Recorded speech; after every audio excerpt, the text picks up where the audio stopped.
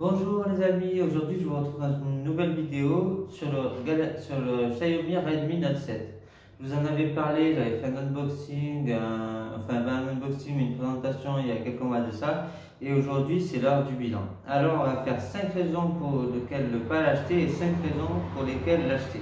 On commence par les raisons pour lesquelles ne pas l'acheter. La raison numéro 1, c'est que sa qualité photo en appareil photo est assez moindre par rapport aux modèles qui sont dans les mêmes prix, notamment le Galaxy A20 sans le E, qui se trouve que sur internet en France, mais qui a une qualité photo qui est supérieure et qui en plus de ça un objectif ultra grand angle, contrairement au Redmi Note 7 qui a certes un deuxième objectif, mais c'est un objectif qui n'est que là pour le faire l'effet bokeh. Euh, en plus de ça, il y a le Galaxy A40 qui peut se trouver à peine 50 euros plus cher, euh, alors qu'il fait encore des photos meilleures.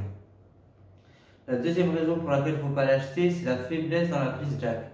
J'ai comparé avec d'autres téléphones, la prise jack du Redmi Note 7 est vraiment faible. Euh, avec les casques, quels qu'ils soient, on n'aura pas un son très fort et ça c'est plutôt gênant. La quatrième et une des plus grosses raisons, c'est l'interface. Euh, les icônes sont tout simplement moches à mon goût.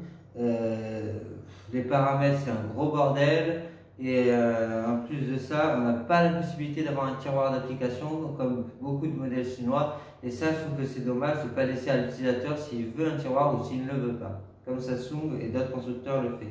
Et la cinquième raison, elle est directement euh, par rapport à Samsung, c'est qu'il n'y a pas d'écran AMOLED, alors que sur la même gamme de prix, Samsung propose des écrans AMOLED.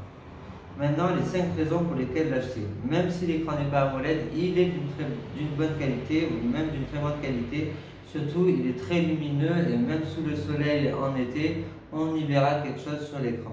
La deuxième raison, c'est malgré le large menton, euh, je vous le montre là, euh, il, l'encoche en bout pardonnez-moi, fait que l'écran euh, donne une impression très immersive quand on regarde des vidéos, c'est assez agréable de se voir plonger dans l'écran. Euh, une troisième raison pour laquelle l'acheter, c'est qu'il y a de l'USB type C. Et ça, c'est pas toujours le cas dans ces gammes de prix. Notamment chez les Wiko ou les Echo ou ce genre de modèle-là. La quatrième raison, c'est qu'il y a une coque fournie dans la boîte, et ça, il faut le souligner. C'est quand même plus pratique, on n'a pas besoin d'acheter de coque de protection, il y en a une dans la boîte, on peut la mettre tout de suite. Et enfin, le dernier point pour lequel il faut l'acheter, c'est que le son du haut-parleur est vraiment pas mauvais. Il peut faire euh, petite enceinte d'appui, c'est plutôt pas mal. Voilà.